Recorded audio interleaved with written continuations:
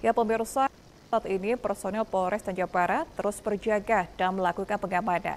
Selama proses sortir dan lipat surat suara berlangsung, pengamanan ini bahkan juga dilengkapi CCTV yang langsung terkoneksi dan bisa dipantau melalui handphone. Hingga saat ini berbagai tahapan pilkada terus dilakukan. Salah satunya sortir dan lipat surat suara yang dilakukan di gudang logistik KPU. Terlihat gudang logistik dijaga ketat personel kepolisian bahkan dilengkapi CCTV. KBO Reskrim Polres Tanjung Barat Ibda Doni Eka Putra menjelaskan, selain pengamanan ketat dilakukan oleh jajaran Polres Tanjung Barat dalam pengamanan gudang logistik KPU, personil Polres Tanjung Barat juga turut berjaga dalam sortir dan lipat surat suara.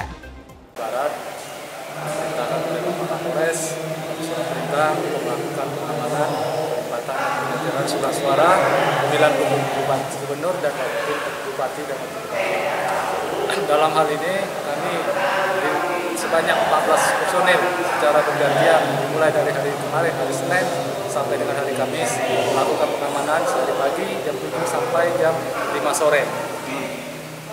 Secara bergantian nih Bang, piket dan setiap apa? Kami melaksanakan pengamanan ini secara bergantian uh, bergantian personilnya.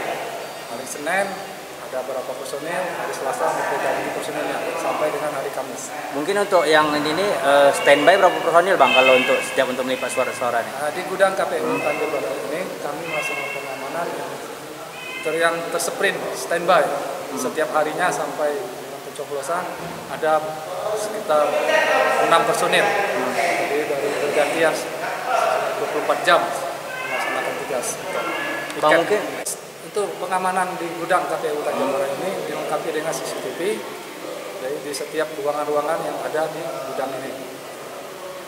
Jadi tidak ada uh, celah untuk apa pun bagi siapa pun yang mengganggu untuk berjalannya kegiatan pelipatan dan penyortiran surat-surat.